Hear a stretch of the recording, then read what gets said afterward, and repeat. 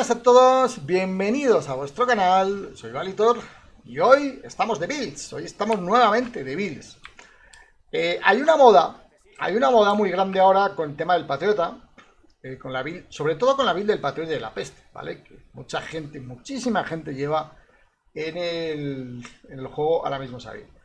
Es una build que está muy bien, cuidado, es una build que está muy bien. A mí no me gusta llevar la build que lleva todo el mundo, y yo siempre trato de ver alternativas o posibilidades, incluso para contrarrestar esa build en PvP.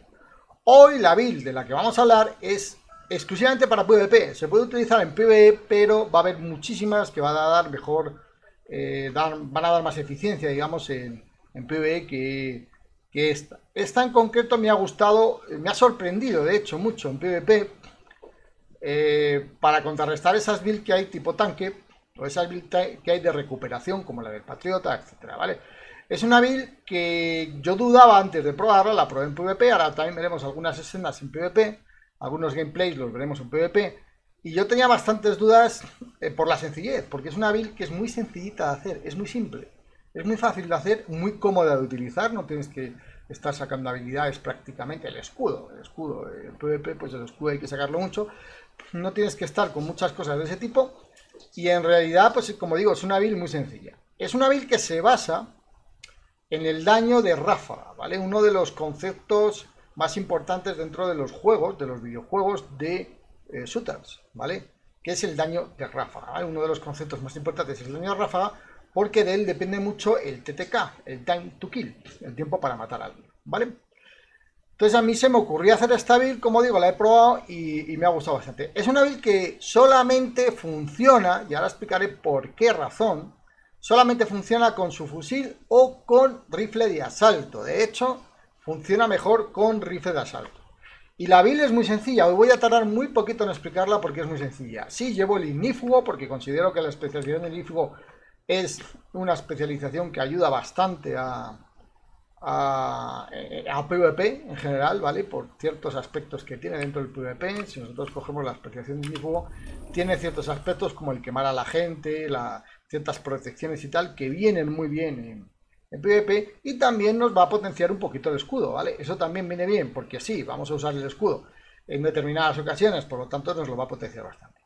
En este caso, pues llevo los potenciadores, como ven aquí, de ametralladora, su fusil y de asalto, pero en esta build la ametralladora no la vamos a utilizar porque no, no, renta, no, no sería rentable, ¿vale? La build es muy sencilla. Es 3 de patriota y 3 de atacante. ¿Qué ganamos con esto? ¿Qué ganamos con esto? El daño de ráfaga, ¿vale? El, el atacante, por llevar 3, nos va a dar la cadencia de fuego del 15%. Es decir, la ráfaga que vamos a soltar va a ser mucho más rápida, un 15% más rápida. Y el patriota lo que nos va a dar en tres piezas, va a ser un 30% de capacidad de cargador. Eso hace que sea un 30% también más dañina la ráfaga. De hecho, eh, no funciona así, pero sería un 30 más un 15, un 45%. No es así, ¿vale?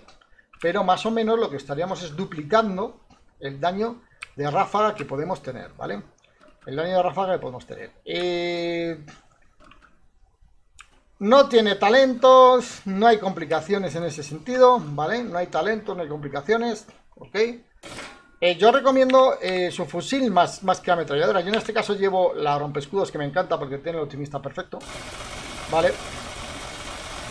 Y vean el daño de ráfaga que acaba de alcanzar, 6.200.000 de ráfaga. Eso es daño de sobra, pero de sobra para matar a alguien en PvP, ¿vale?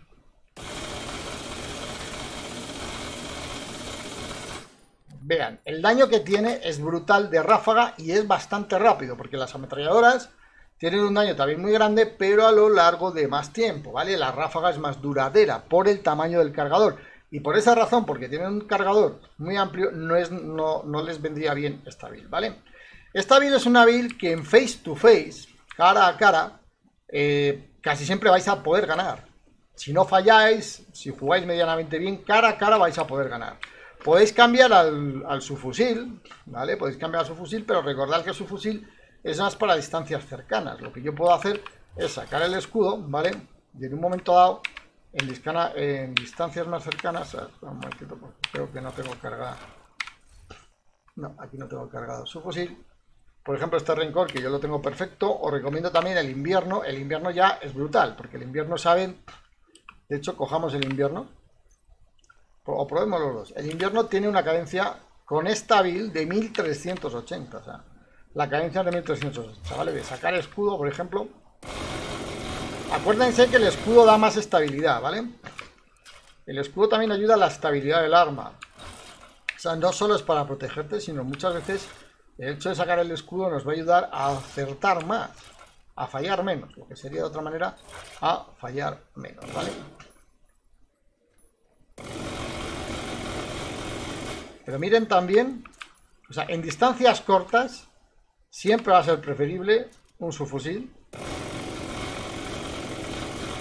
porque hace casi el mismo daño que, hace, que hacía antes el rifle de asalto, pero en menos tiempo todavía. En menos tiempo, ¿vale? El problema con el subfusil es que tiene menos puntería, ¿no? Entonces tienen que hacerlo más no de cerca. Aquí no, a veces no funciona. Con armas de mucha cadencia a veces no funciona bien el campo de tiro. Se bobea. A veces no cuenta bien, ¿vale? Pero ven que el daño es sobradamente suficiente para matar a alguien, ¿vale? Yo la probé más con el rifle de asalto y me gustó bastante. Gente que llevaba inquebrantable, gente que llevaba, bueno, chupasangre mm, también llevaba, pero eso no funciona mucho, pero gente que llevaba patriota para, para regenerarse. Me refiero aquellos que llevan una sobrearmadura, que llevan armadura fuerte o que llevan eh, regeneración, ¿no? Tú les destruyes, porque vas a tener una ráfaga muy rápida y muy dañina, ¿vale? Una ráfaga muy rápida y muy dañina.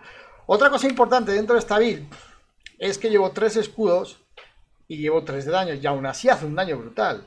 Si yo le pusiera más daño, todavía haría más daño, sería bestial, pero no tendría una protección que necesito. Porque esta build, recuerden, no lleva inquebrantable, no lleva nada. Sí, puede que alguien en el grupo lleve tardígrado o alguien en el grupo lleve vigi, eh, eh, el chaleco, el, que siempre, siempre lo confundo con vigilancia, el nombre, este, ¿vale? El talento de vanguardia, vanguardia perfecta, ¿vale? Y te pueden dar una sobrearmadura y ese tipo de cosas, ¿vale? Eso viene bien, por supuesto. Otro tipo de cosas que te pueden dar armadura, ¿vale? Eh, kit de patri kit de, superviviente y cosas de esas. Pero eh, eh, está muy equilibrada, o sea, aguantas, además tienes el escudo, pero aguantas porque tienes un millón, o sea, tienes un millón trescientos mil perdón, eh, sí, 1.300.000 tienes de, de protección, ¿vale? Tienes una protección importante, ¿vale? Tienes una protección bastante importante que vas a aguantar bastante. Y además, si sacas el escudo, el escudo recuerden que mejora con los, con los atributos azules, es decir, con los otros escuditos. Entonces, al usar los otros escuditos, pues también vamos a tener un escudito pues, de categoría 3, ¿vale? vamos a, este escudito pues va a ser de categoría 3. Y además no solo de categoría 3, sino va a ser el de ignífugo, que todavía es mejor, ¿vale? Con lo cual es bastante efectivo. Es una build que extraña su simpleza, porque su simpleza es brutal. Extraña el no aprovechar esa cuarta pieza de los sets, ¿vale? Pero el set atacante a mí me parece súper bueno pero la cuarta pieza del set atacante nunca es realmente tan útil en PvP. El pateta sí, el pateta las cuatro piezas son muy útiles, ¿vale? Pero ya estaremos hablando de otro tipo de build, de una build más defensiva. Eh, recuerden que eh, para PvP lo lógico, lo inteligente son dos cosas, dos consejos que les doy yo. Eh, uno, ir con un equipo con, penetrado, que se conozca, que uno lleve pulso, que otro pueda llevar para utilizar tecnología, por ejemplo, o que uno debe protección, otros dos vayan con daño. Así, un equipo que sea compenetrado es muy importante siempre. Obviamente para eso se tiene que conocer y tienen que haber jugado un poquito juntos. Pero cuando quieran volverse renegados y quieran hacer una cacería a niveles altos y todo eso, les recomiendo eso. Lo otro, lo otro muy importante que tienen que tener en cuenta es que es conveniente que lleven varias builds para PvP, es decir, dentro de las builds que ustedes tienen aquí guardadas, de las 12 builds que pueden guardar, pues vamos a poner que tienen, no sé, 4 o 5 que son PvP, ¿vale? Una de técnico, una de tanque, por ejemplo, una de daño, otra para rifle, ¿vale? Pueden tener varias. Siempre mm, cuando nos eh, encontramos a alguien con el que nos vamos a, a batallar en PvP, no suele ser una sola batalla, suele ser varias. Suele ser varias batallas. Eh, entonces, veamos, analicemos qué builds tiene el contrario y por lo tanto yo puedo cambiar a una build que sea más efectiva contra esas que están utilizando, ¿vale? Contra esas que están utilizando. Entonces, eh, lleven varias y dije, pues mira, aquí va mejor la de tanque, aquí va mejor una de daño, voy a flanquear y voy a pillarlos por aquí. Va mejor una de francotirador porque se me están poniendo lejos con el mortero y entonces quizás una francotirador me va mejor, etcétera. Vayan viendo cuál de las builds que tienen va mejor en cada batalla. Ese también es un consejo importante. Como digo, esta build me ha gustado mucho. Ahora pondré algunas escenas. Me ha gustado mucho. Me ha sorprendido su sencillez. Y basado en eso, como digo, en el daño de ráfaga. El daño de ráfaga en una automática. Este, esta build por eso no vale para francotirador, no vale para escopeta, no vale para ametralladora, no vale para pistola. Es exclusivamente para su fusil y rifle de asalto, para esas dos, ¿vale? Y como digo, una build absolutísimamente recomendable, absolutísimamente recomendable. Eh, también comentar que llevo algo de crítico, o sea, ¿qué hago con los atributos? Eh, los atributos lo que hago es que yo estoy metiendo, en mi caso, crítico. No es que tenga la locura de crítico, tengo un 23,2 y un 64 de crítico, pero salta. O sea, salta de vez en cuando. O sea, no va a saltar como si tenemos el cap de crítico, por supuesto que no va a saltar, pero una probabilidad de crítico por encima de 20, de 20% ya se nota bastante. Por encima de 20%, ¿vale? Por encima de 20% ya, se nota bastante. ¿Vale? Como ven, ahí saltan críticos. ¿Vale? Saltan críticos.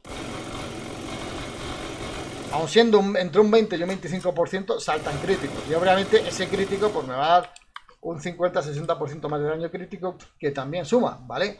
Eh, mi recomendación es esa, meter en los atributos siempre eh, tratar que, sean con crítico. Claro que para eso tienen que encontrar las piezas adecuadas, ¿vale? Las piezas que vayan encontrando, pues que sean las adecuadas. Pues aquí tengo que meter en el pateta resistencia a quemaduras, que no está mal, pero en general voy buscando en todas las piezas, como ven, el crítico, ¿vale? En las que puedo, según las que tengo, voy buscando el crítico, ¿ven? En todas, básicamente probabilidad de crítico por encima entre 20, más de 20 o 25% recomendable y luego todo lo demás al año que viene. Bueno, esta sería la vida, espero que les haya gustado, voy a poner unas escenitas eh, y recuerden que pueden suscribirse, recuerden que estamos en Twitch haciendo streaming los eh, miércoles, viernes y domingos, ¿vale? Sobre todo esos tres días y en ocasiones otros días más que se nos ocurre y empezamos a hacer streaming, ¿vale? Un saludito, con mucho cariño, Valito, chao. Por cierto, eh, agradezco mucho las builds que me están mandando, mucha gente. Yo, las, yo eh, prometo que las voy a probar todas y las que considere que sean tremendamente interesantes eh, para el canal, las expondré aquí en el canal, ¿vale? Un saludito de Valito, chao.